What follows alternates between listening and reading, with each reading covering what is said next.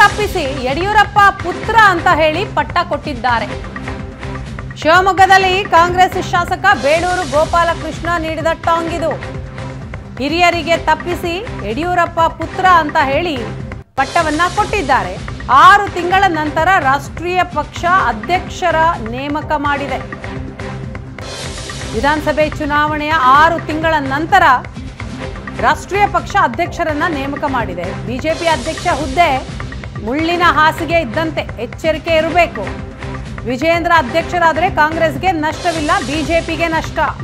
ರಾಜ್ಯದ ಅಧ್ಯಕ್ಷರಾದ ವಿಜೇಂದ್ರಗೆ ಅಭಿನಂದನೆ ಸಲ್ಲಿಸುತ್ತೇನೆ ಅಂತ ಹೇಳ್ತಾರೆ. ನಾನು ರಾಜ್ಯದ ಅಧ್ಯಕ್ಷರಾಗಿರುವಂಥ ವಿಜಯೇಂದ್ರರು ನಾನು ಅಭಿನಂದನೆ ಸಲ್ಲಿಸ್ತೇನೆ. ನಮ್ಮ ಜಿಲ್ಲೆಯವರಾಗಿದ್ದರಿಂದ ಅದು ಯಡಿಯೂರಪ್ಪನವ್ರ ಮಗ.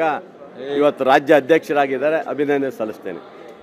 ಬಹುಶಃ ಆರು ತಿಂಗಳ ನಂತರ ಜ್ಞಾನೋದಯ ಆಗಿ ಒಂದು ರಾಷ್ಟ್ರೀಯ ಪಕ್ಷ ಅಧ್ಯಕ್ಷನ ಮಾಡಿದ್ದಾರೆ ಅಂತ ಹೇಳಿದಾಗ ಇವತ್ತು ಸ್ವಲ್ಪ ನೆಮ್ಮದಿಯಾಗಿದೆ. ನಮ್ಮ ಉದ್ದೇಶ ಏನಿತ್ತು?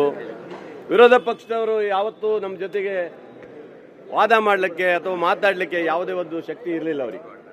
ಇವತ್ತು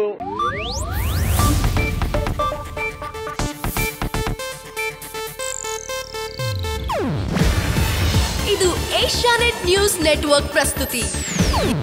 ನೀವು ನೋಡ್ತಿದ್ದೀರಾ ಏಷ್ಯಾನೆಟ್ ಸುವರ್ಣ ನ್ಯೂಸ್.